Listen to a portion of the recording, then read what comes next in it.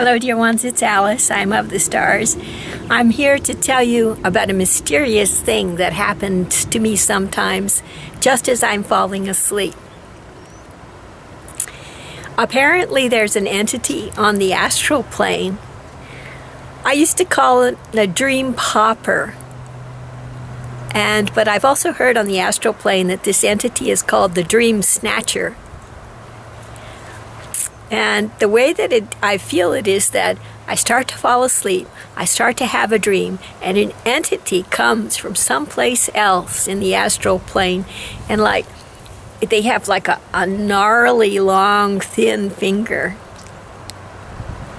and they go, they they go, oh no, you don't, and they stick their finger into the dream that's thought form that's of a dream that's forming in my head, and it like pops it like disappears. And I wake up immediately and I go, what was I about to dream about? And all I see is I see this finger receding from my head and this then and then I go roll back, you know, roll back with the timelines and I I I hear the conversation that occurred before. I this is a mystery. I don't know who the dream snatcher is.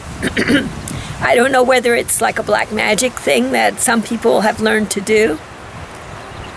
I don't know if it's like some special cult or if it's just some beings on the astral plane that are preventing humankind from dreaming their dreams. Isn't that something? What can we do about it as humankind?